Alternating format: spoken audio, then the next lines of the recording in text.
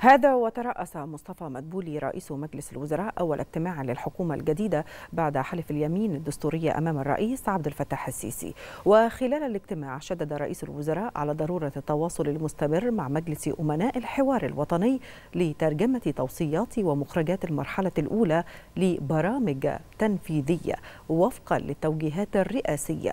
مع ضرورة اهتمام الوزراء بحضور الجلسات البرلمانية مع تخصيص أيام محددة للقاء النواب. والرد. على أسئلتهم ومطالبهم. باعتبارها تمثل مطالب للمواطنين أنفسهم. وفيما يتعلق بالأزمات والقضايا الملحة أكد مدبولي أن الحكومة ستعمل مع المجموعة الوزارية الاقتصادية على مجموعة من الملفات على المدى القصير. تتمثل في ضبط الأسعار وخفض معدلات التضخم وزيادة الاستثمارات المباشرة وغير المباشرة والسعي بكل الجهد الممكن لزيادة الموارد من العمالة الأجنبية مع إعطاء دفعة قوية لملفات التعليم الصحة الصناعة خلال الفترة المقبلة.